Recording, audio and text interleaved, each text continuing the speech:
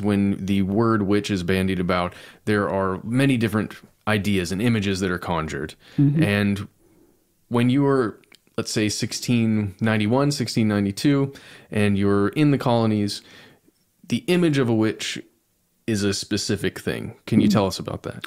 In 1692, the legal definition of someone who had a familiar spirit, it was assumed you knew what that meant, but they were in cahoots with an evil spirit, a little dem- de- demon or imp, and in order to do that, you're in, at some point been in contact with the devil, knowingly or unknowingly, uh, because it was understood by you know, the ministers that humans did not have the ability to perform magic.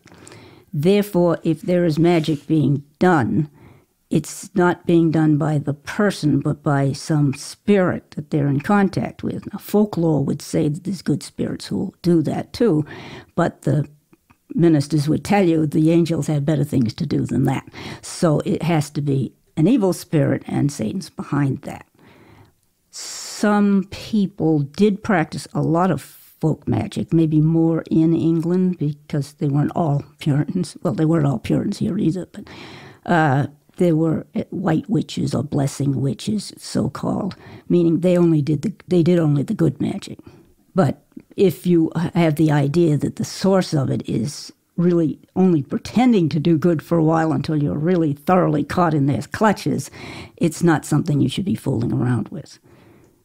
So, where does counter magic come into this? Ah, well, that's part of folklore. It's something to repel the evil magic that comes at you, theoretically, allegedly. Uh, it's supposed to dispel it, counteract it, uh, bounce it back to the person who is casting it in the first place, which is what the witch cake charm was supposed to do. Can you tell me about the witch cake? Yeah, it was English folklore, and it was suggested to Tituba and John Indian by a neighbor, Mary Sibley, who's an English woman. Uh, her parents were anyway, and she's a member of the church, I believe. So she's considered herself, considers herself a good Christian. But this this current of folklore that's just common, and this is you know this is repelling evil magic, so it can't be harmful. Is the idea, but it got the girls more worried, so the outcome was not good. But the idea of magical spells, some part of the witch's being is projected out to hurt the victim. So if you take part of the victim, and in this case it could be a lock of hair, maybe, or in this case some of the girl's urine, easily taken from them. You don't have to cut off an ear like they might do with livestock. but uh, that is tortured, you might say, by being baked into a little rough cake of the cheapest flour you've got. And you feed it to the dog once it's cooked. And the dog crunches it up and digests it, and that would should hurt the witch because the part of the perpetrator that's in the urine that's in the charm is being acted on, and the pain, I guess, is supposed to bounce back to whoever sent it. But that would make them come around and say, What's going on? or begging for relief. Well, that doesn't happen. But the girls get more upset because now, as far as I can see it, now the adults are really assuming there could be magic here, which the doctors already said, it, the physician, go to the medical professionals. And one of them thought it might be bewitchment. So it, the, the adults are taking that seriously. Interestingly, the Parrises didn't immediately go to that as a, so- solution to the girls' symptoms, whatever they were. It is very interesting that the physicians are the ones who end up diagnosing mm. Some form of witchcraft taking place. Well, the fact that, or the assumed fact that magic was a possibility, was just there in the culture and in the other cultures. It wasn't just a Puritan thing, it was England, Europe, and Africa, the Native Americans, uh, everywhere, really. But because of the trials and and tensions of the times, economy, war, and all that, people were on edge to begin with, along with the local quarrels. So it seemed like the last straw. They are under siege by real, actual, in this world problems. And this seems like one more thing that could happen. So, two of your works that we're really looking into the Day by Day Chronicle and Six Women of Salem. Um, I we really want to focus first on these six women. So maybe you can give me kind of like a paragraph or two in your mind, just how you would describe each of these women as a way to maybe set them up in the show later. Okay. So is it okay if I go down the list and Sure. you just okay? So let's start with Bridget Bishop. Uh, Bridget Bishop was married, so she's not alone in the world. This is her third husband. She's been suspected before, however, of witchcraft, but she has survived that. There's not as much paperwork on it as you'd like, surviving. Uh, she was mm, confrontational, some of the neighbors thought. I'd say she stuck up for herself. This, she's, this is the, her third husband. The second husband would hit her now and then, but she hit him back. How about Mary English? Mary English was the richest woman in Salem. Her father had been a, a merchant who was lost at sea, and she married his business partner, Philip English, who was from the Isle of Jersey and had more of a French culture. His name was Philippe Langlois, something like that, that I'm mispronouncing. So they're very rich. Some people, at least according to descendants, thought she put on airs but you know class and status and the responsibilities of class were bigger in the big in those days not like now but uh, she was accused even though she was a full member of the salem church in town Let's uh, continue with Rebecca Nurse. rebecca nurse was uh, mm, older than middle age she had a large family of grown children with grandchildren, so it's an extant family. There's not a lot of death in infancy in her family. Uh, her husband is still alive, so she's not a widow pretty much on her own. She has a good support network, and she's a full member of the Salem Town Church. She seems to be well respected, but she's accused, and some people just didn't get along with her, I guess. I think a lot of personality conflicts in this, but even though she had a family who rallied around her all through it, even though it might have been dangerous to speak up at times, she doesn't survive. And Ann Putnam. Uh, Ann Putnam is an accuser. She's married to Thomas Putnam, who also helps to accuse people, and their eldest child is Anne Jr., who's one of the afflicted girls near the beginning. She seems to have not liked Rebecca Nurse. She's quite, I think she's self convinced that there are witches after her. Rebecca Nurse and Martha Corey seem to be particular problems with her.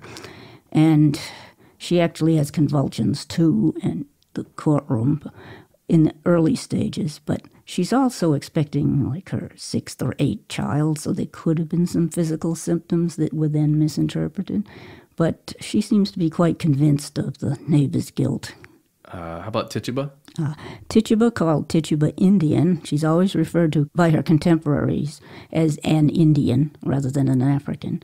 She belongs with her husband uh, to Reverend Samuel Parris. She's from somewhere else, presu- presumably Barbados, where Parris had been a merchant before becoming a minister and moving to New England. So she's accused early on. She makes the witch cake at the direction of a neighbor with an English bit of folklore, although there's probably worldwide equivalents of this.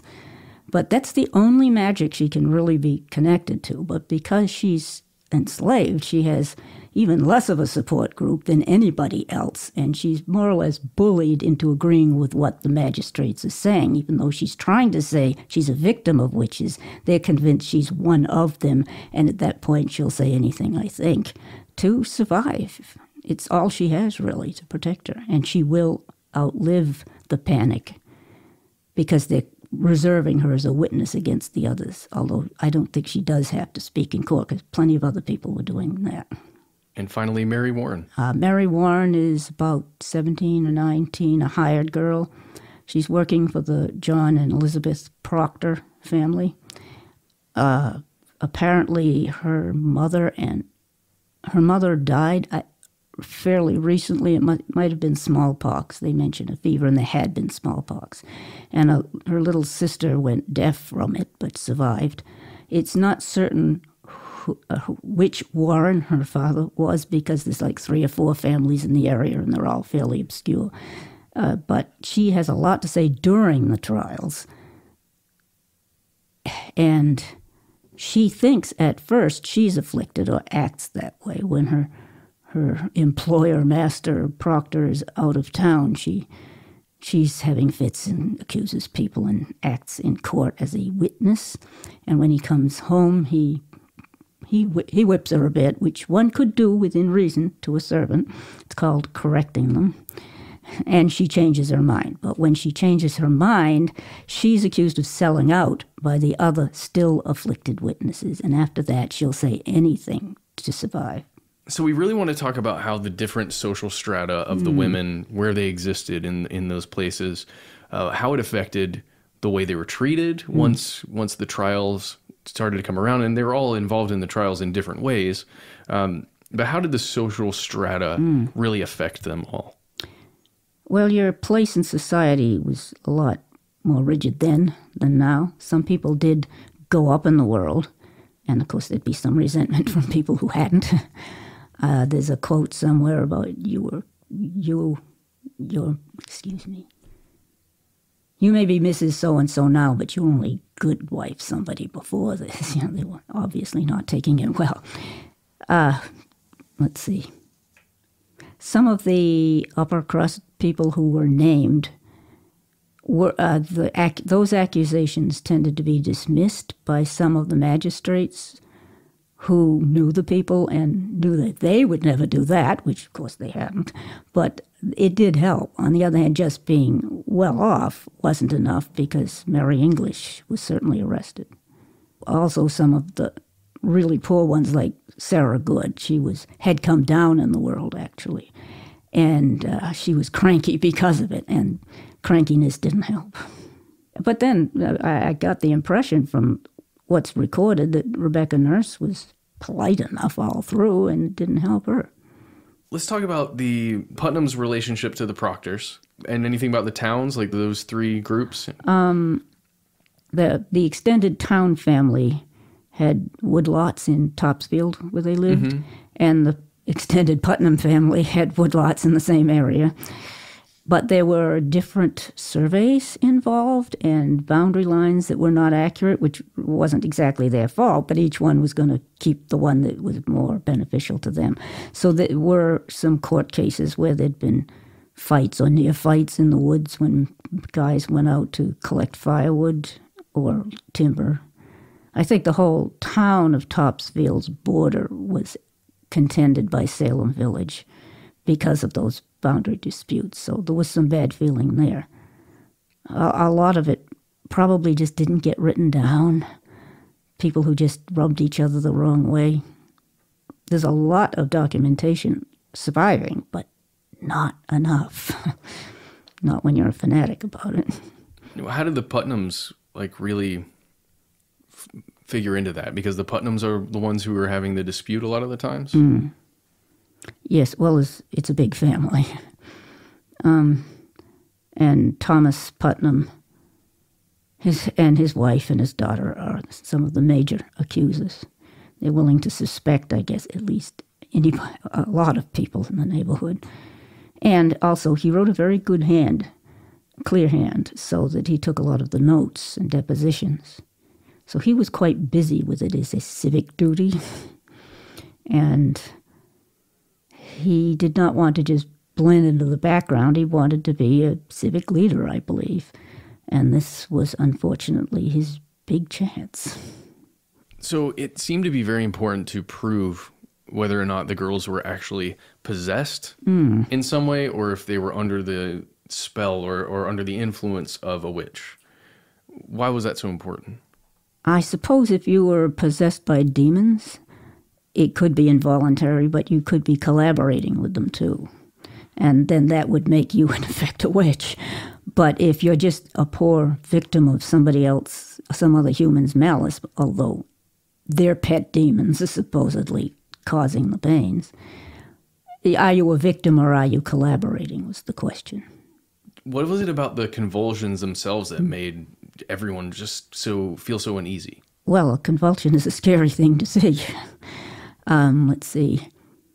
Reverend Hale, at one point in he, in the book he wrote later, he said it was beyond the power of epilepsy what they were going through, and they must have seen epileptic seizures, and certainly there seemed to be a lot of fevers when they got too high. People would convulse, and they knew what that meant. But there was something really different about this, or more extreme. Prior to this, and prior to the Goodwin case, somewhat earlier, convulsions I don't think were common as a symptom. It would be the cow died, or the cow went dry, or the livestock died, or all sorts of misfortunes, but it wasn't so much that people seemed to be repelling an attack of an invisible entity. So this was not, well, witch trials were not an everyday occurrence even then, but it was, uh, the convulsions were particularly distressing part of this. Although why they were believed and not, uh, again, Hale's, uh, to paraphrase him, he kind of said you had to be there. It was Yeah. just really bad. Well, it kind of leads to why perhaps these younger women, uh, at least early on, why their stories were believed over adults. Yeah, because children and young women and older women, depending who, who's asking the questions, uh, the, their testimony didn't bear, carry as much weight to, in the judge's minds necessarily, although women did speak in court as witnesses. Uh, but, you know, a child's testimony, do they know what they're talking about? But there must have been just something about it that does not translate in the notes, even when they're pretty, seem to be pretty thorough. And I mean, you read the questions and answers for the hearings. They're not the trial questions, it's the hearing that leads up to it. And it's like something with the sound turned off. You're not really hearing somebody screaming in agony or protesting or the audience reacting. It sounds not conducive to clear thinking. We mentioned Sarah Good, I think, earlier, uh, and Sarah Osborne. Women of that standing, well, how do you think they were treated by their their the people who lived around them? Well, as I said, uh, Sarah Good had come down in the world. She came from a better off family, but stepfather kind of got things that should have gone to the children. And then she's married to an impecunious person who then dies and leaves her in debt. And she marries second husband who is no great provider at all, and she's begging from time to time for her children. So this she can be kind of annoying. Sarah Good come around again, wanting something, and the fact that she's she feels this keenly and is cranky, not really, not a humble person, so she can get on people's nerves. Uh, perhaps coming down in the world might seem like you're you're just not trying hard enough. Although, how hard can a woman try and actually get something in those days economically? How many opportunities are there? Uh, or if, I don't know, it's some punishment from God, which is rather unfair to put on God. But, you know, they're it's not orthodox necessarily, but the neighbors might wonder. Uh, Sarah Osborne was, well, she had, she and her husband had a farm. But the first husband dies and she marries the bondservant. And the farm should have gone to the sons when they came of age, and she still has rights to live there, at least while she's a widow. But now she's married and there's a second husband, and he's kind of taking over the running of things, and the sons cannot get the farm, now that they're of age, away from him. So there's a lot of hard feelings with that, and the Putnams were related to the first husband. So that kind of explains a few things. You know, maybe for the benefit of our listeners, it might be good to just go over the basics of like what the rights of women were in 17th century New England. Hmm. Well, they did say about class, the, the better sort came right out and said the better sort, middling sort, and the lower sort.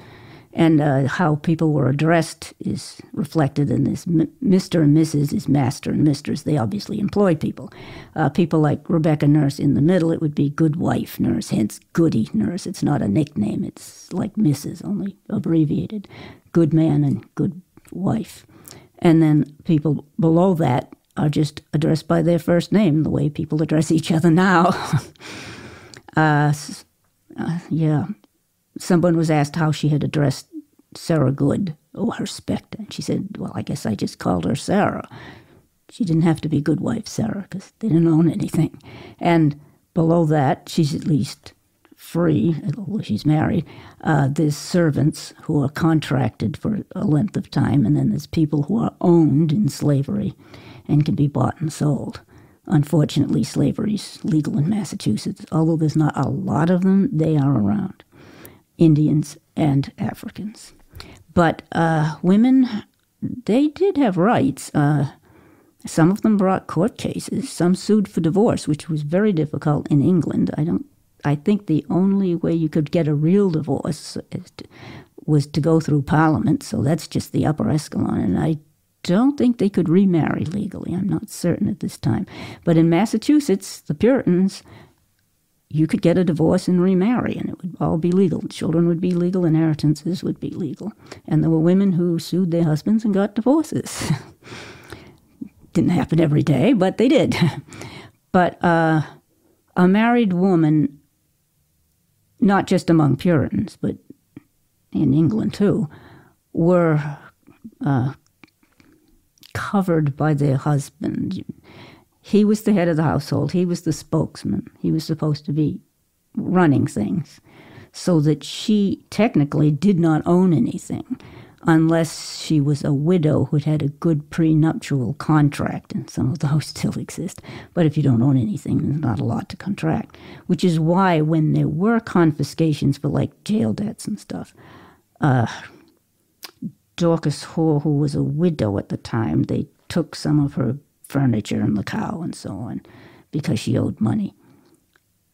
But when Bridget Bishop was arrested uh, and she hangs, no, they didn't confiscate anything because she didn't own anything. Her husband did, even though she had owned a few things before she was married. Now it was absorbed into his but they could they could speak up and and they could most hmm, perhaps most importantly to them women like men was supposed to you know search your soul to see if you were saved were you worthy of joining the church and having communion and access to baptism and so on. And that was a personal journey so that they would be members of the church equal before God. Couldn't vote, but in church matters, but they sometimes made their feelings made their feelings known, but yeah. But at least before God you were equal. So let's jump to power. Okay. Power within the society because I feel like all this is very much connected. Mm. Um, the power seemed to find its roots in faith. Even though we, you mentioned these this, these are not all Puritans mm-hmm. who are, that we're talking about. Um, however, that Puritan faith and that Puritan power structure kind of had its hold over everything. Mm. When people emigrated early on, like the 1630s, a lot of people coming in, most of them are coming over for faith reasons. But it soon became evident that they didn't all believe the same thing exactly. So in order to vote, which is men, it uh, you're supposed to they were supposed to be members, fully communing members of one of the churches, which is they're all separate entities. There isn't like bishops or anything. To show that uh, you know, these are upstanding citizens and they're not going to rob you or something like that. But eventually, other people moved in, uh, Quakers and locals who converted to Quakerism. Also, uh, Church of England families, um, the men who, who were merchants, who a lot of them who came in later were Church of England. And of course, this, in, back in England, there's the civil wars going on, and the Puritans predominate during the Commonwealth period when there's no king, although there are other groups. When the king returns, Charles II comes back and the monarchy is reestablished, the Church of England is definitely Episcopalian at this point, and in England, non- nonconformists, as all of the different sects of Puritanism are called, are excluded from the university degrees, couldn't run for parliament, and so forth. And so uh, Massachusetts tried to pretend that the, they just couldn't find the paperwork to get rid of the charter and all that. But eventually, they had to allow, they had to not allow the requirement that you be a church member in order to vote. But England changes it so you have to own a certain amount of property. So theoretically, some poorer church members maybe don't vote anymore. On the local level, if you're going to choose the hog reeve and the cow catcher in town and the guy to mend the roads, they may not care about that, and selectmen. But the upper ranks of the government, you had to have a certain amount of property. So are you going to, is it a, a religious requirement or a financial requirement? Yeah, how connected are those two things? You know? Well, I mean, there were Episcopalians who had money too. mm-hmm. So let's let's pull back and talk about uh, just citizens of Essex County, people mm-hmm. who were living in es- Essex County at the time, right up into and then un- as the the trials are occurring. How are these trials that are happening? Let's just say wherever the epicenter is, like mm-hmm. around Salemish. Salemish. What? How is the rest of es- Essex County being affected, just in their daily going about their lives?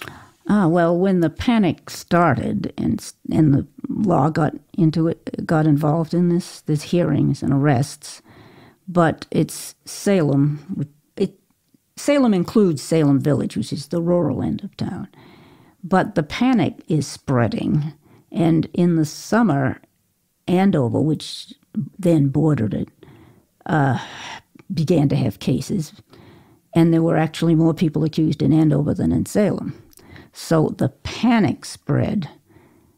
I know people in Ipswich and Gloucester and in some of the Middlesex County towns, so that there were jails in three counties involved in this. But each of them are neighborhood quarrels, family quarrels. That's one of the most fascinating things about this in, entire crisis is that these are essentially neighborhood quarrels mm. between neighbors but there's this spiritual aspect to them that that brings in this uh, the weight and the power of something otherworldly. Um, the so effects seem to be magic, and that involves spirits of one kind or another. yes. Um, Allegedly. Yeah, but but simultaneously, you have nature bearing down mm-hmm. on all of these humans because as you're getting in closer and closer to winter, uh, at the time there's a real physical danger that's approaching as well. Oh, the people in jail, it, jails were not conducive to your health. they apparently had fireplaces because there's bills for firewood, but uh, they're not meant to hold people for a long length of time, and they're not supposed to hold a lot of people. Once winter started to come down, on the temperatures getting colder, which happened earlier than it does now, uh, there were petitions, some of them from Andover anyway, asking if the the suspects could be let out until spring. We promise we'll bring them back when the trials resume next. I, a few people were let out on bail. Some of the youngest ones, even though they'd been accusing people. They went home, but I don't think many of the older ones did. And some of the children that got arrested, they did go home, but not all of them. And that's one reason the trials resumed the following January. They're waiting to hear from the Crown. Should, are we proceeding right? Should we do this? Uh, but it was just, it was too dangerous for the people in jail. And just, even if the temperature was good, it's not clean with all those people in one place. How linked are the concepts of sin and crime? Oh, not every sin is a crime, but all crimes involve some kind of sin. Uh, drunkenness would be sinful, but if you're not if a guy is drunk but he doesn't waste the family's substance, beat the wife and the children, then it's not a crime, but it's sinful. Why was confession such an important part of the trials themselves? Well, any any capital conviction required either two competent witnesses to the same act that's where spectral evidence gets tangled up. Or a credible confession from the accused.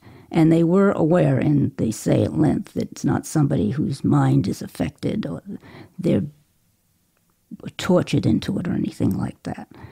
But so uh, the people who did confess, and there were a lot of people who did confess, uh, some of them said afterwards that they really didn't know what they had said. They were so terrified by what was going on. One woman said she remembers a document being read in the name of the king and the queen, and after that, she didn't know what happened. She just couldn't remember it. She'd blanked out. And others would probably they was it sounded like they was just agreeing to anything in order to get on the good side of the magistrate or or in the hopes that it would lengthen their life because the people who were who had confessed and uh, were held as witnesses against the supposed uh, collaborators. And that delayed things so that not all of them, but most of them survived because the panic died down until spectral evidence, which is the report of what the demons are doing, was no longer allowed in court. Describe some of those uh, I guess, the evolution of criticisms against spectral evidence? Mm. Well, at the very beginning, uh, one of the judges who lived in Boston consulted with his pastors, Cotton Mather, about any information on how he should proceed. And Mather said to be very careful of spectral evidence. It really can't be trusted. I mean, it's axiomatic. The devil is the prince of lies. He's a liar. You can't believe anything that comes from that direction. So you can't really believe it. And they said they'd be careful, but they weren't careful. And I think Mather wasn't there at most of the trials. Uh, just assumed that they're older than I am. They, they, they're wise enough people. They probably know what they're doing, which they didn't really because they were carried away by it all, too. It seemed so real at the time, unfortunately, because the convulsions in the courtroom seemed to be the crime being committed right in front of everybody, and we can all see the effects of it. But the cause of it, they could not see, and they had to depend on the reports of the supposed afflicted. And even if the afflicted people were quite convinced themselves, they can be deluded by the devil. And that's their own philosophical outlook on it, and they didn't pay enough attention to it. It's pointed out on the very first day by Sarah Osborne that the devil can take the shape of anybody, so why not me? For some reason, it was said afterwards anyway, that for some reason Stoughton thought that you did have to give the devil permission, as if the Prince of Lies is going to ask you uh, permission. It really didn't make sense. So he, he seemed to think he knew what he was doing, and he was a very strong personality. And I think that if some of the other judges had second thoughts. They maybe figured he knew what he was talking about. Although, after the first execution of Bridget Bishop, one of the judges, Nathaniel Saltonstall, stepped down. He just left. Speaking of um, Bridget Bishop wasn't the first person to get arrested right. for these crimes, but she was the first person to put, be put on trial. What yes. was the reasoning for that? Uh, Bridget Bishop had been suspected before of witchcraft, so there was that against her. There maybe seemed more evidence against her, or at least her reputation wasn't good in that respect, although that's really other people's reactions than anything she had actually done. She was sort of the usual suspect, you might say. Why was Tituba's testimony in particular, why was it powerful? When she started describing things and sort of to fulfill the expectation of the questioners. It was pretty vivid story about this spirit and that spirit and these invisible, otherwise invisible entities and the, some in the shape of birds and this hairy thing that was standing by the fire.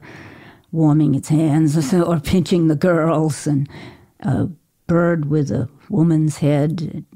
It was pretty colorful. It was probably more thorough than that than the notes indicated because there's a lot going on, and they are using shorthand, but it's still not an absolute transcription. So that was pretty vivid, and she describes other witch specters, Osborne and Good, but then others also, but she doesn't know who they were.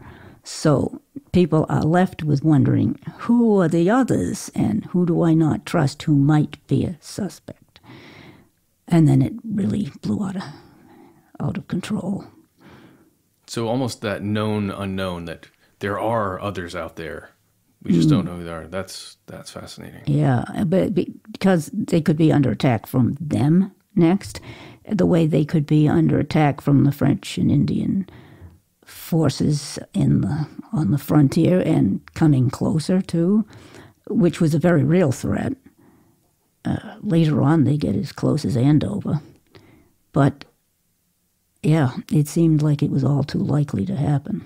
Even something of like just the wilderness, the wildlife that surrounded them, because there were wolves around still, and there's a spectral wolf, presumably spectral wolf reported that chases the doctor's hired girl, and she has conniptions and fits soon after.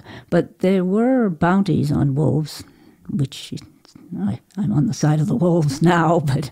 Uh, but there were bounties paid at least the year before, so I think they're in the vicinity, and it's winter. So, yeah, that would make people nervous too. Fear really is just one of the most pervasive things. Fear is very powerful, and it still is. And if you get to the point where you're panicking, then you're not. You're thinking even less clearly than otherwise. What are the main separations between the role of someone who's a servant and someone who is a slave? Well, you don't sell the servant. It's uh, they're contracted for a certain period of time, but a slave is enslaved for life. There were cases of um, enterprising sea captains kidnapping people on the coast of England and Ireland and bringing them over as bond servants against their will. And they had a certain period of time to work out. And there was a, a lawsuit by a couple, and they might have been brothers, who had been kidnapped like that and thought that they, their time should be up by now, so we should be free. And they're saying that their master was a bit too hard and wasn't going to let them go. I think they got out.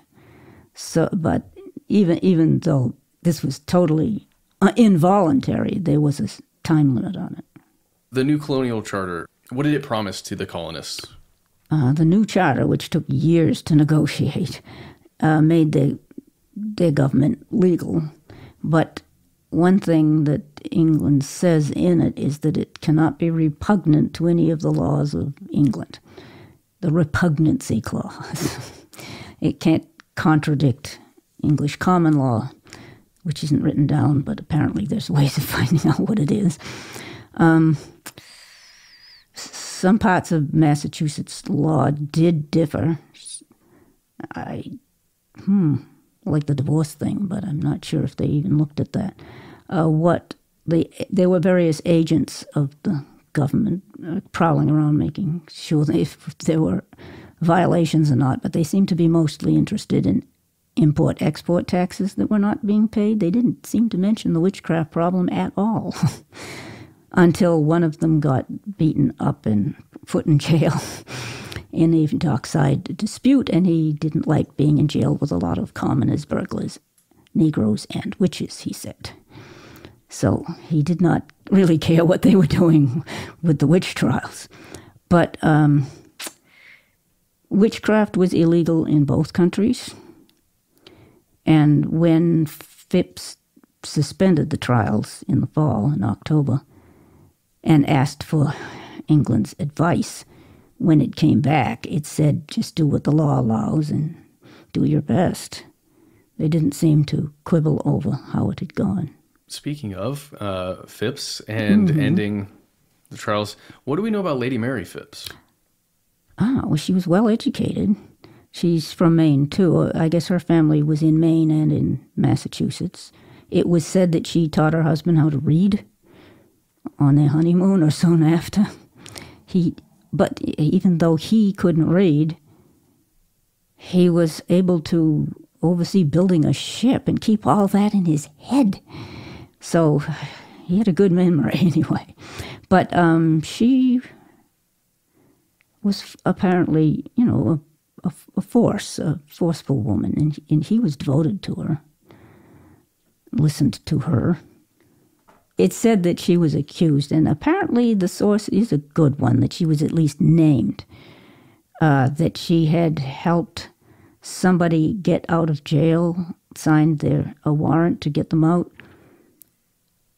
I I thought for a while that you know William Phips and Mary Phips, William and Mary, the monarchs, that there was some confusion there, or maybe they pretended there was a confusion. But she may have done that because the source is Thomas Hutchinson, the mid 18th century governor of Massachusetts who wrote a history, and he said he was shown a paper by somebody who had been a jailer and got fired when they let them out unauthorized. But uh, yeah, she could have been named. But nothing was done about it because at that point, Phips decides this is not going the right way and realizes what Sarah Osborne pointed out the first day of the hearings. If somebody sees a specter that looks like you, it doesn't mean it's you. So that that tactic did seem to work, paying if you had the means, right. paying to be released. It well, you know, bri- yeah, not legally. bribing. Well, not everybody thought that the trials proceeding the right way, but we don't know exactly. It could have been just they were bribable. it did help to have money, and if you were wealthy enough, like Philip and Mary English, they were put in the Boston jail, but then he had enough money and put up a bond, four thousand pounds, which is huge, uh, that they could then rent a room in the jailer's house, which had, you know, better amenities. It was a room rather than a common room with everybody in it.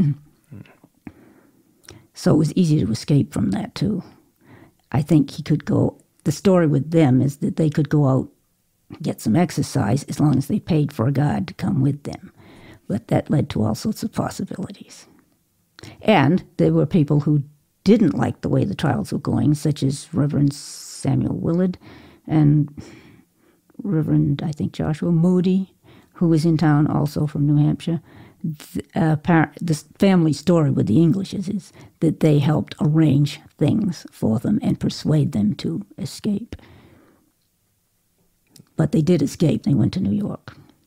I know there are several people who had to remain in jail even after their charges. Now they're debtors, trial. yes. Yeah. So how did how did being a debtor function within the trials? Well, you had to pay the fees. It's like two shillings, sixpence a week, I think. And that I've seen is what a woman, if she was working full time as spinning and weaving, could earn in a week. So that's that's a sizable amount of money.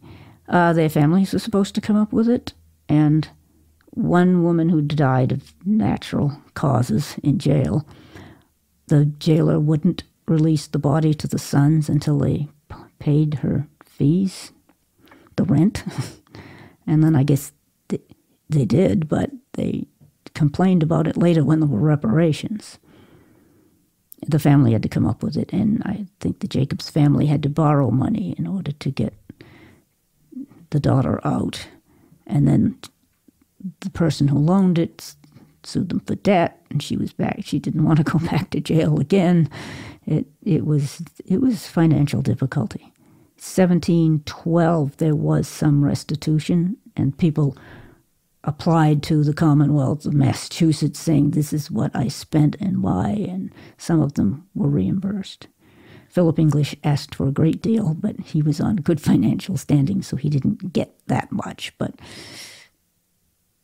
yeah, Massachusetts tried to make amends. It didn't bring didn't bring back your dead grandmother, but it was something. But anyway, it gives us some paperwork to to know what people had to spend. They'd put in uh, the expense of hiring a horse and going down to Boston from Salem, which is a whole day's trip, to tend to their mother or their aunt or somebody, bring them some fresh clothes and some decent food. I mean, I guess you got bread and water, but it wasn't great. And then they do that so many times in a week, and that's that's a lot of time away from work. It's, the crops are growing or not growing, and yes, it, it was financially bad for Massachusetts as well as for the individuals. Who was the final accused witch to actually leave the jail? Mm, it's hard to say. I really don't know. Was um, okay. Was Tituba at least within the Salem witch trials? Was it was it Tituba the last person because of some of these? Uh, she may she was among the last, I would say, because her she didn't come before the juries, trial juries, until the following May of 90, 1693. And then there were her fees. She'd been in jail a long time. And Samuel Parris did not want her back because that whole episode is at this point very embarrassing. And what if she really is a witch? Do I want her in my house? So he wasn't going to pay it. And they've sold her to somebody we don't know to, to cover the fees. So she's back to being a slave somewhere else. And we don't know where but apparently locally because it's mentioned that she was. She's not sold out of the colony at that point. She just disappears from the records. What are the kinds of like primary sources? Like, what's the kind of written stuff that you actually mm. have from from from this time? Oh yeah. And what are the kinds of things they write about? There's a lot we don't know, but there's a lot of documentation that has survived. Um, there's warrants, uh, the compl- the original complaints, uh, a mittimus where someone's being transferred from one jail to another, and they're not for everybody. It's not a complete set for everyone who's accused, but especially at the beginning, there's a lot of questions and answers taken down during the initial hearing, not at the trials, but at the hearings to see if there's enough here to hold someone for trial. And surprise, nearly all of them were.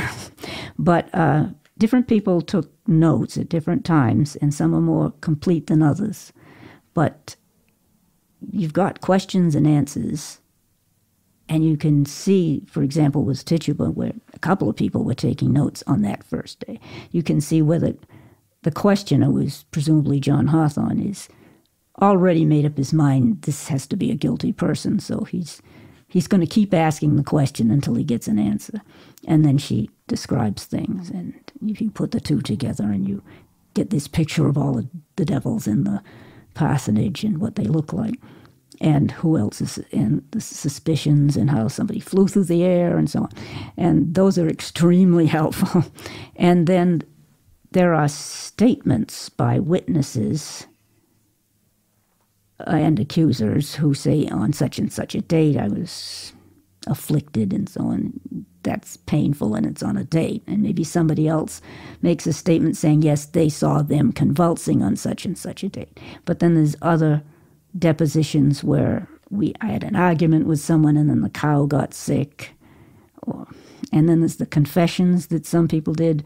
And uh, they confessed that they'd sold themselves to the devil and how did he appear and he always was uh, came as a black dog or he looked like a man or he looked like a, a colt i think in one case or and how and we and they describe being rebaptized into the devil's co- communion and they're thrown into someone got thrown into a stream they're coming up with whatever comes through their head someone's face was pushed in a bucket of water they said or they wrote out a contract on a piece of birch bark, or they were illiterate and they put their thumb mark on something. Some, they can get quite detailed, but you know, even though it didn't happen, it's extremely interesting. Uh, and then there are lists uh, back in 93 you do get the names of some of the jurors unfortunately most of the jurors in 1692, we don't know who they were because that paperwork didn't survive. And later on, there are petitions saying, This is what I went through and I want my name cleared. And the petitions for reimbursement later on in like 1712, after the reversal of attainder, and the names have been cleared if they got in the petitions. There were five, I think, that didn't get cleared until 2001 on Halloween. they weren't taking this seriously. But uh, you know, they they're listing what they lost, what was confiscated, uh, the money they had to spend to go visit a relative in jail, and so on. So there's a lot of detail, and a lot of those are online, which is very helpful on the University of Virginia's website. There was commentary at the time. Let's see, there, when the panic started to wind down in October, there were a couple of letters circulated, not in print at the time, they're in print now. Uh, uh, one was by one of the Brattles criticizing the way the trials had proceeded. too much spectral evidence, it boils down to. There's some anecdotes in that, but mostly it's an argument as to why this does not work. And Increase Mather, who had negotiated the charter, writes up his views that he'd had been discussed at a meeting of area ministers. Uh, cases of conscience. It's a longer title than that, as to why you cannot trust spectral evidence. And there are some letters, such as from Phips to the Privy Council or the Crown or various government officials in England, saying, It's not, I'm stopping it. It wasn't my fault. I wasn't there. I was following your orders to keep Maine safe. Uh, but we've stopped it now, and it wasn't my fault. uh, but hmm, let's see. So when the tr- uh, trials uh, start up again in January and so on, there's some paperwork from that. in October, the court, I guess, the government, asked Cotton Mather to write a summary of what had been going on, and he at this point still assumes that they had been proceeding correctly.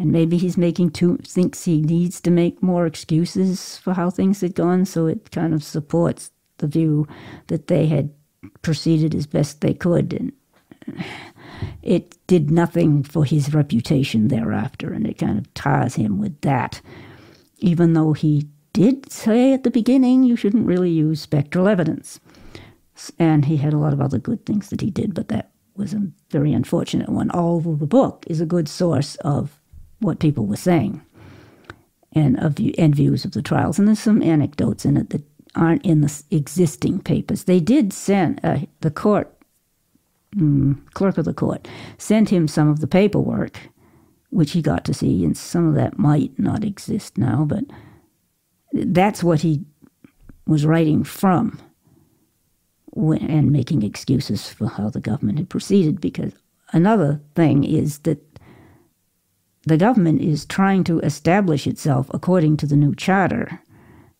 and they don't need so much public unrest that they lose it again, or you know, the populace does something to react against it, and England says, "Oh well, forget about self rule after this." So he he he was trying to protect the reputation of the government too much. As strange as it is, you can view the Salem crisis as a PR nightmare for a group of people. It was a PR nightmare, yes. right. And and because of that book, which was published in England and in New England, uh, Robert Calef, who was a merchant and he'd been a constable in Boston in that year, so he might have been helping to arrest people. We don't really know that. Uh, he was highly critical of the trials at this point. He hadn't really said anything while it was going on, but he wrote a book criticizing this, criticizing the Mathers and the government, and that has a lot, a lot of really good source material because he spoke to some of the families involved and and prints some of the paperwork that didn't get saved or it was a receipt from the sheriff as to what got confiscated. And we know about it because it was in his book. And then there was back and forth between the Mathers and Calef and, so debating how things had gone. But that is a source book. And later, Reverend John Hale, who had believed that it was witchcraft at first and then did change his mind, he wrote a book later as to how it seemed and how it is obviously not a good idea to accept spectral evidence, although at the time it seemed like such and such. And there's anecdotes in there that, that were very helpful. But it wasn't published until after his death in 1700. But that's a good source, too. At the very top, we talked about Rebecca Nurse. She had, a, like you said, a support structure around her, her family. Mm-hmm.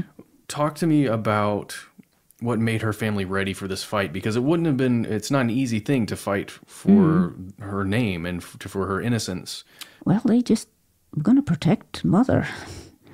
The nurse family got statements from neighbors. They circulated a petition among neighbors and lots of people signed it. It wasn't just them. So they people put their names on it and there was never any retaliation against any of the people who did that or the petitions for the Proctors or for Mary Bradbury, I'm happy to say. Uh, and they took that to the governor and other statements, and even a statement from, I believe this was at this point, a statement from the jurors who misunderstood something she said because she was originally got a not guilty verdict, which scared the afflicted girls, either, either because they expected the devils to do something or because they did not want to be not believed. Uh, but they screech, and it seems like they're being heard. And Stoughton st- sends the jury out to reconsider. They come back and ask her wh- about a certain statement she had made when she was brought into the room. She, one of the confessors had come in, and she said, "Why is she here? She's one of us." Did she mean one of us witches or one of us accused? Which is what she meant. But she doesn't answer, and they figure, okay, she has nothing to say to, in her defense, and they bring back the guilty verdict. And her family tells her afterwards what had happened, and she writes, a, or she signs a statement that they wrote for her, or she wrote it herself, saying that she thought they meant a, a fellow prisoner, not a fellow witch. And all this is presented to the governor, and they get a reprieve. And whereupon there are even worse afflictions, and the reprieve is taken away, and she hangs. But they do try, and they keep trying, and they they they never really I don't know if they never forgive the accusers, but Parris and the Putnams certainly thought that Rebecca was a witch at the height of the panic there and they are at obvious odds for a long time thereafter. And they're part of the faction that would like to get rid of Parris and break that contract for obvious reasons. You know, you look at everything that's kind of swirling around the village of Salem mm-hmm. that's causing this to occur. In, in your book, specifically in The Six Women, you're really focusing on these women and their lives and right getting a view from inside. I'm trying to. Well, no, you you are. Okay. And and why is it important to focus on these specific uh, women? Well, the uh, something biographical, trying to tell what it was like to go through it, what it was like to live through it as an accused or an accuser.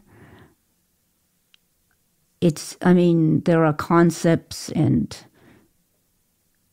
of what goes on in the world and these great movements of history, but how does it hit an individual?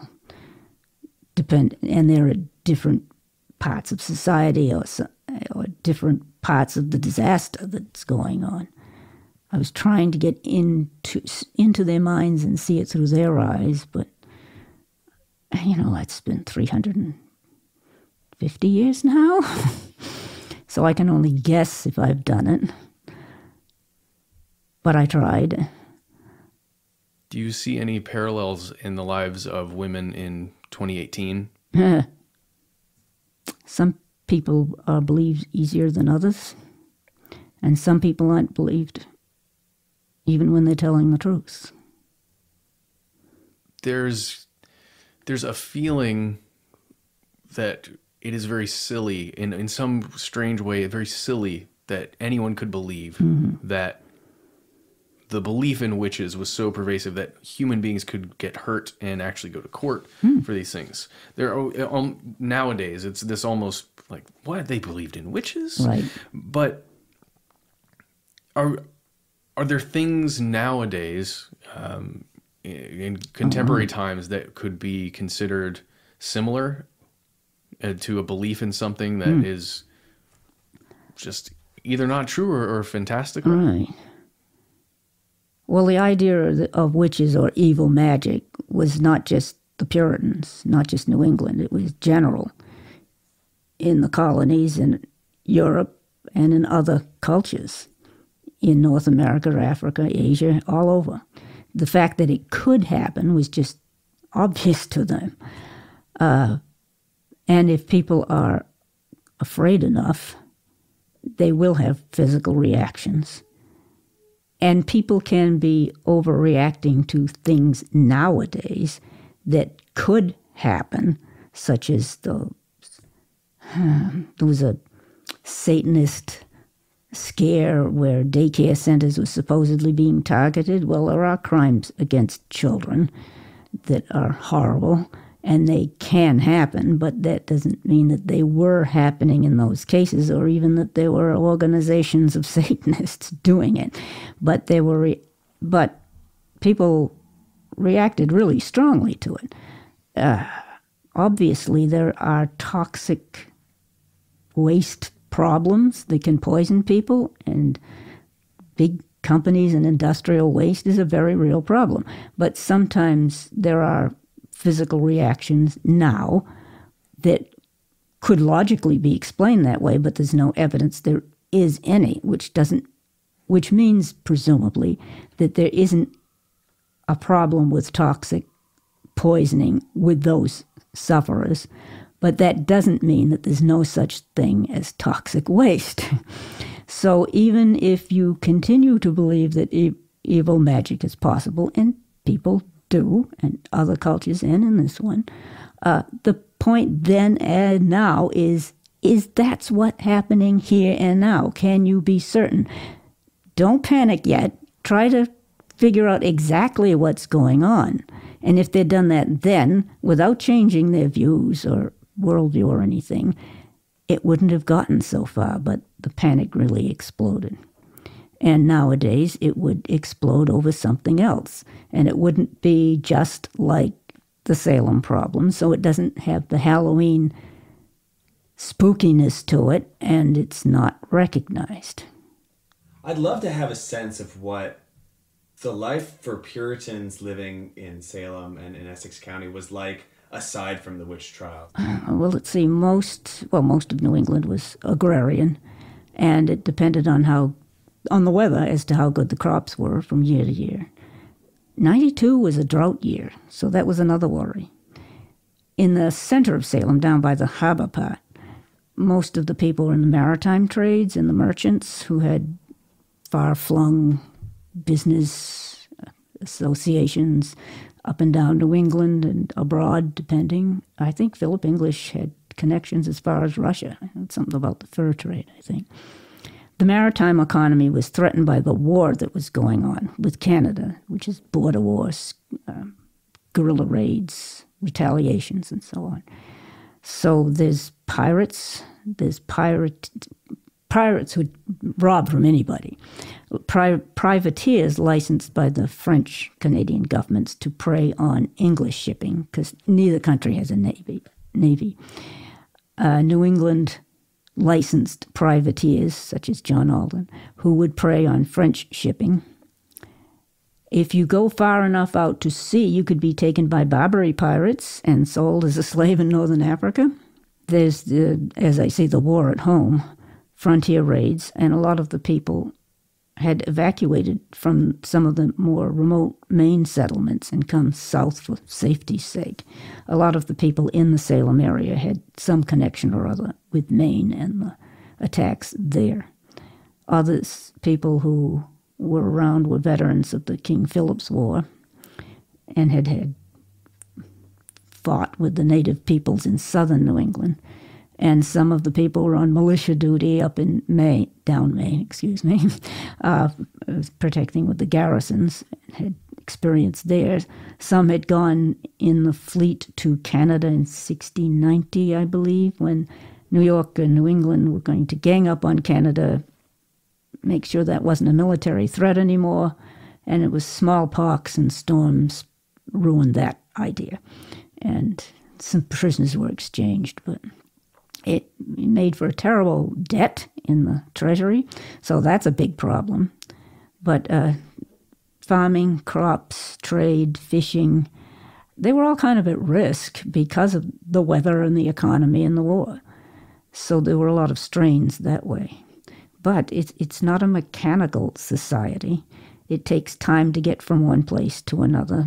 It might, I don't know if it was quicker to sail to Boston from Salem, but it took the better part of a day to get there by horseback, and you'd have to cross a couple of ferries with ferries to get across the rivers, or go way around the marshes. I mean, the railroad goes right across it now, and the roads, but you had to go around things.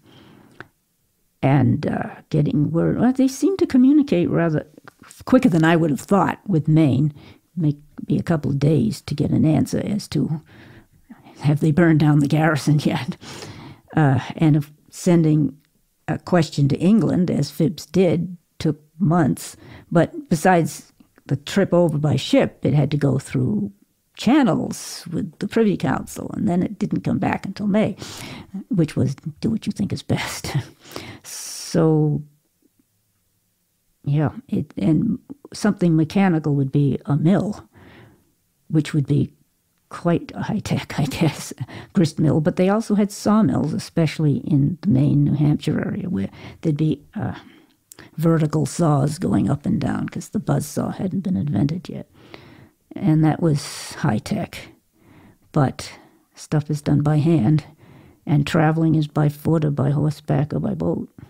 How important was firewood? Oh, very important. Yes, firewood would be the main fuel, if not the only one it was important in this in the witch trials because one of the problems with the minister Samuel Parris is that the contract included firewood, his uh, supply for heat, cooking, and there was question as to whether it had been included. Did we really include the firewood, or did we give you something extra to cover the firewood? He doesn't have enough trees of his own; he has to buy it, and it's not deep dark impenetrable forests, there's woodlots and fields. uh, more, I don't know if there's more trees now or then, or then, but you don't just go cutting down a tree because it either belongs to the town or it belongs to somebody else. So at one point, he's really low on it and complaining about it. But that was just a bone of contention between the people who didn't support him and the people who did. But you did need it because the houses were not insulated. They maybe had, well, they'd put bricks between the timber and the plaster, but that's not terribly warm. I think some houses were found to have eelgrass or something in between the walls. I don't not sure if that was later, but you had to be close to the fire. I mean, Cotton Mather lived in the city of Boston and had a good house, but he's writing in the winter and, and the ink freezes in the inkwell. so it was a necessity. What was the function of the meeting house? Well, the meeting house is a Puritan concept. It's and also the fact that they're out in the a new land where they have to build things from scratch in the first first generation. A meeting house was an all-purpose building. They would meet there for civil meetings, selectmen, town meetings, but they would meet there for religious meetings also because that was the main reason lot, most of them had come over in the first place. So it depends what time of the week it is as to what you're using it for. It's town owned because they're pretty much all the same belief system. As the population expanded in various places where there were maybe Baptists and Quakers, they didn't want to have to support that.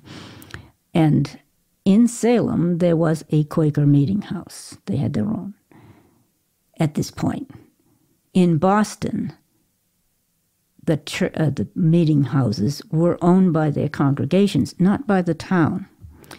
It, there were three congregational congregations in town, plus, at this point, an Anglican church, Quaker meeting house, and a Baptist church, too, and I think a Huguenot one. And they're all owned by their own people.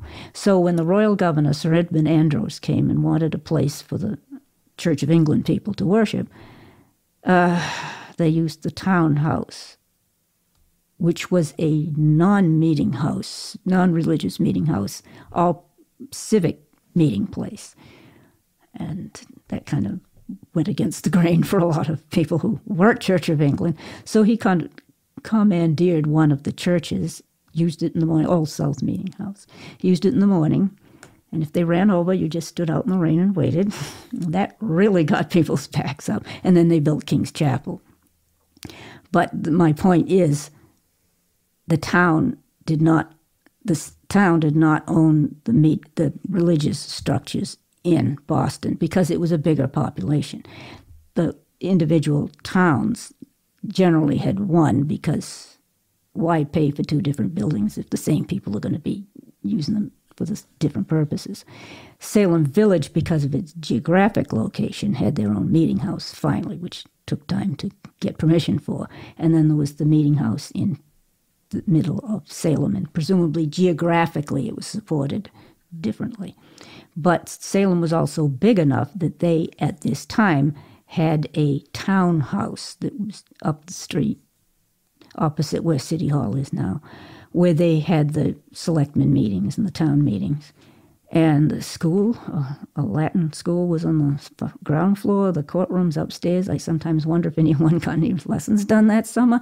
And they kept the firefighting equipment in the attic, which would make it rather hard to get to in case of a blaze, but there was room but they also did occasionally do, uh, have civil meetings in the meeting house because it was bigger. In 1692, one of the hearings is held there because some of the uh, uh, le- legislature is coming up to observe the crisis and they need a big space.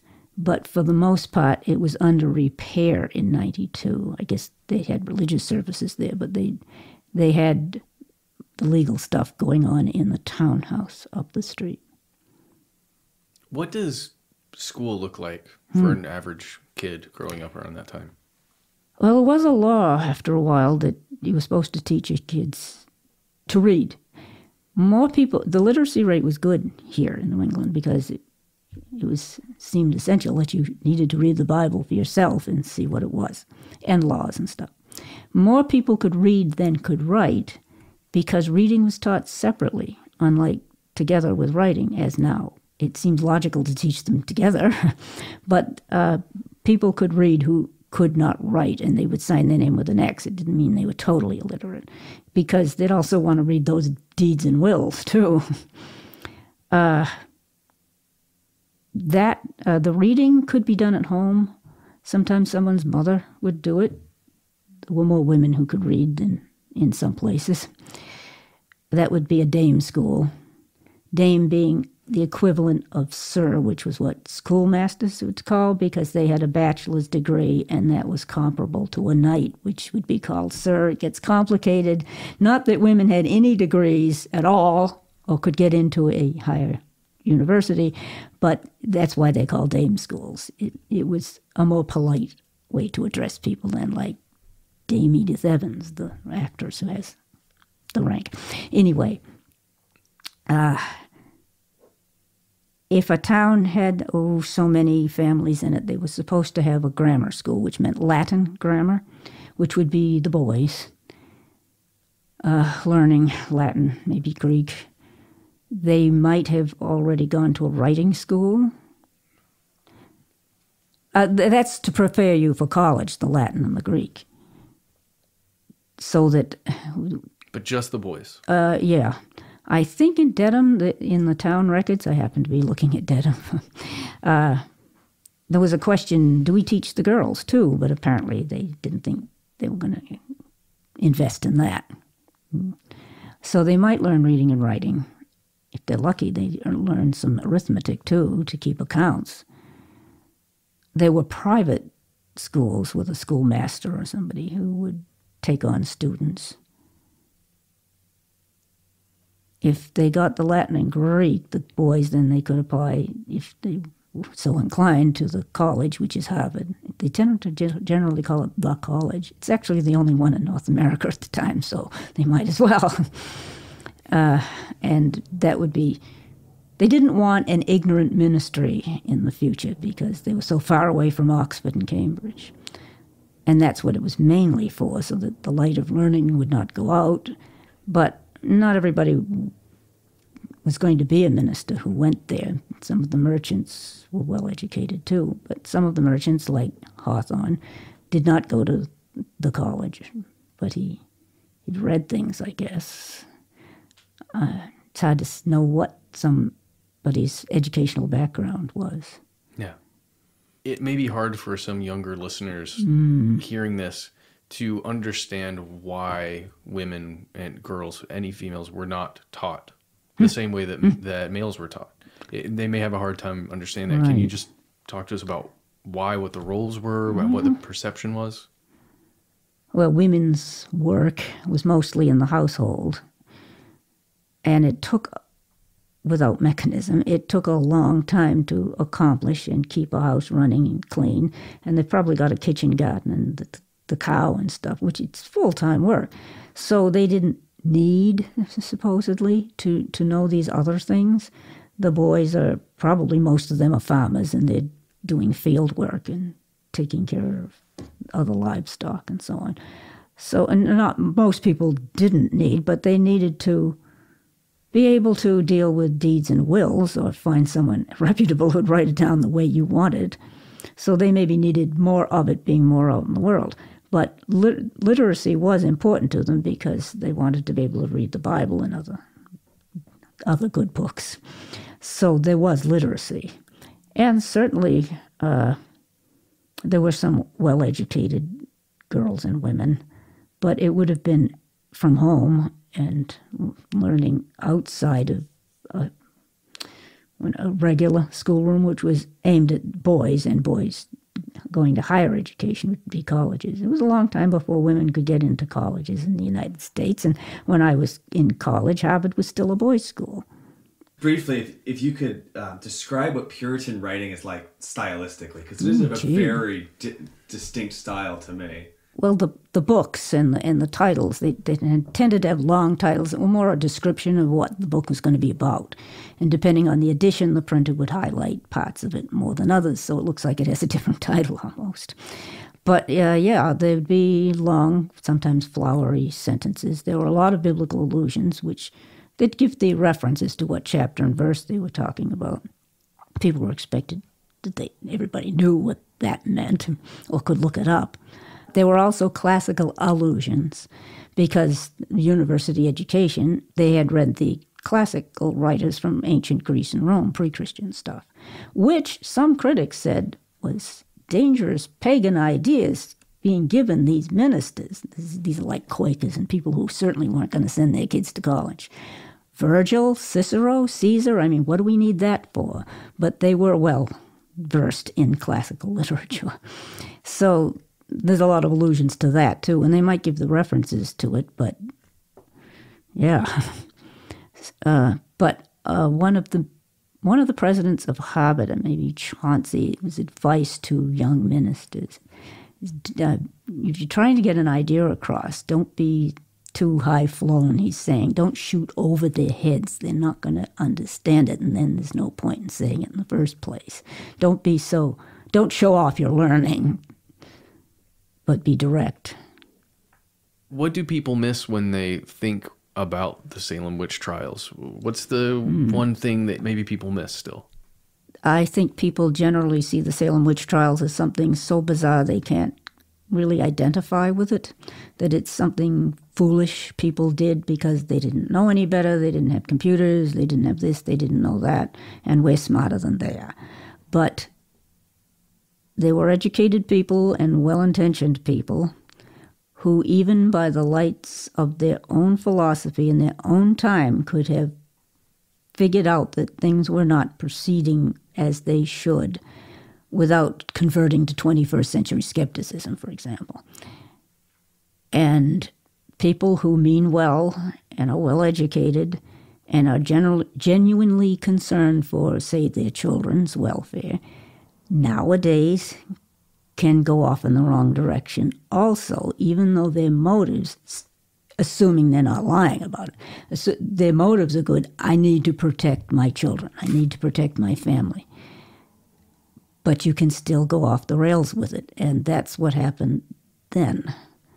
I think for the most part, for the most part, people were convinced that something awful was happening, and then they just went the, down the wrong road for too long. People tend to think of it as spooky Halloween stuff, especially in October.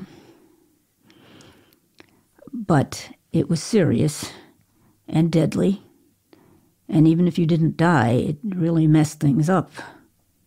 And people who were just on the periphery, it it messed up the economy and and society. So bad things can happen, and they happen in different costumes each time. So you don't see it coming until you're in the middle of it.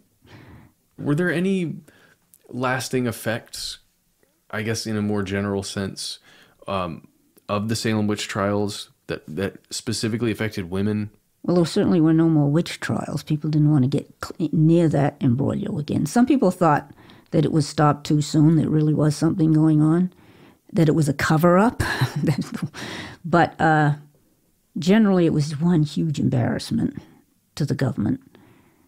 There were slander suits brought by people who had, had been accused, as had been done about before that, because uh, prior to 1692, I think about a third of the witchcraft witch cases were slander suits where you were trying to clear your name, and they generally won. But I don't know. It, it certainly left a lot of neighborhood and interfamily resentments that lasted a couple of generations. But then you find people a couple of generations on marrying someone from the opposite camp. So it's I don't think they're angry now. it just makes for very interesting genealogy one of the fascinating things driving through Danvers versus mm-hmm. driving through Salem proper um, is just how the this period in the trials are treated just mm-hmm. in the public street. Yeah, well, because Danvers is a separate town now, it sort of was not remembered that that was where things started, and Salem's got this history that everybody knew about one way or another. I think the tourists came before the tourist industry. They responded to people's interest, from what I've been able to figure out. Uh, and when the railroads came in and it was a lot more traveling, there was more of it.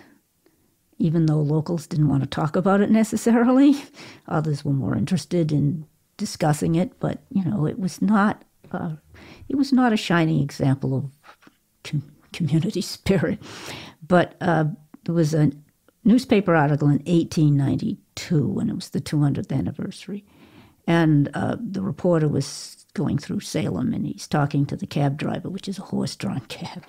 And the cabbie says that there's two things that people who have a little time in Salem want to go see. They want to see the house where Hawthorne was born, the Nathaniel, and they want to see where the witches were burned or hanged or something like that.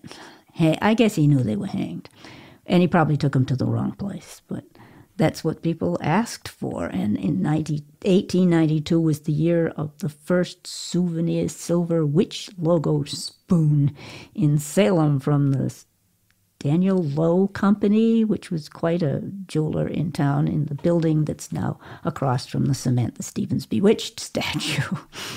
so uh, things were starting up, and there was a there was an opportunity there people took advantage of. But when the mills and the the leather industry and the textile mills went elsewhere. Tourism filled a void too. But there was also more notice of Salem through TV and books and things. It kind of was an unstoppable force, and some of it's good, and some of it is very inaccurate. Arthur Miller's play, which is creative fiction, but definite on the on the part about not being believed when you're telling the truth. So you lie and then they believe you. That that hits the nail on the head. That made it internationally known. So if it hadn't been before, people know about it all over the world. So that becomes Salem to them, and it's not just Salem; it's the whole area had problems. Salem was the shire town, so that's where the court sat. Uh, But well, because it's so well known, I the most I hope for is that get the facts out and hope that people listen and aren't just satisfied with having a Halloween joke out of it. I like Halloween, but this is not that.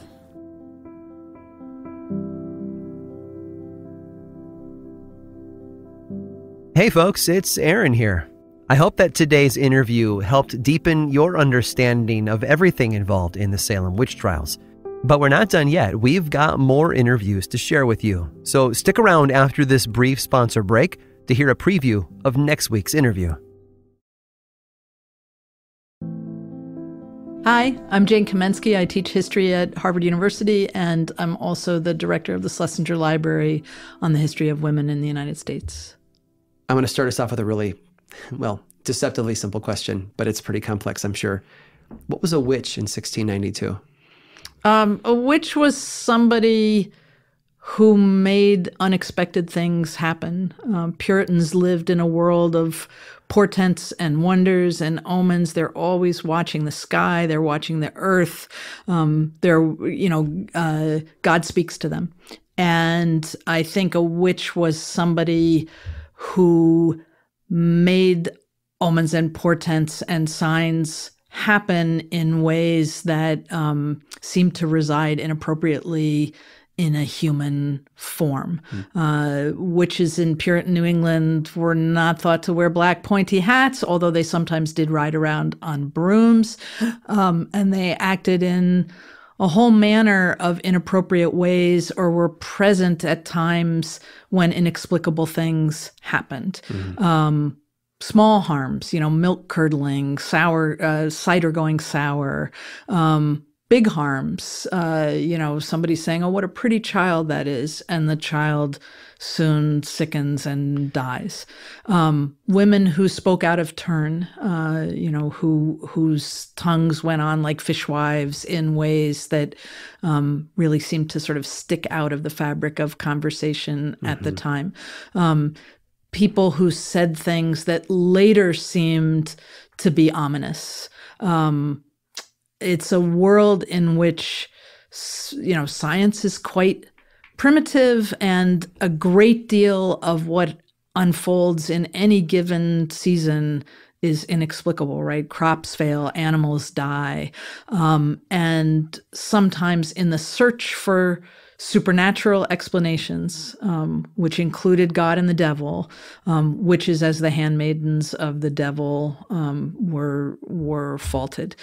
It's hard to see looking backwards whether there were individuals who cultivated that reputation, um, who had uh, sort of family businesses in curative arts that flirted with the edge of uh, of the supernatural. You know, there there are some instances in Salem where um, uh, women are found with poppets that seem to be uh, little little cloth dolls that seem to be used in um, in some kind of ritual. One thing that's quite different in uh, in the early New England witchcraft cases than in uh, a lot of more ancient witchcraft cases is that Puritans are very concerned with the idea that some witches consort with the devil. Um, you know, there's a there's a black mass that surfaces in accounts of Salem that's not typical in run of the mill witchcraft cases um, where it's where it's really more about livestock or about what we would now think of as a nightmare. I woke up with a sensation of somebody pressing on my chest, and I thought of mm. my neighbor, and it must have been her um, bewitching me. Um, so, a whole range of unexpected happenings that didn't have an easy narrative cause that could fasten on somebody who, for whatever reason, um, stuck out in a fabric of society that was supposed to be smooth. Very.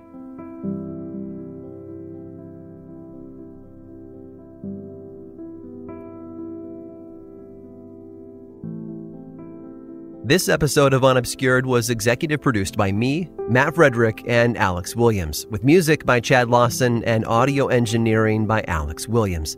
The Unobscured website has everything you need to get the most out of the podcast. There's a resource library of maps, charts, and links to Salem document archives online, as well as a suggested reading list and a page with all of our historian biographies.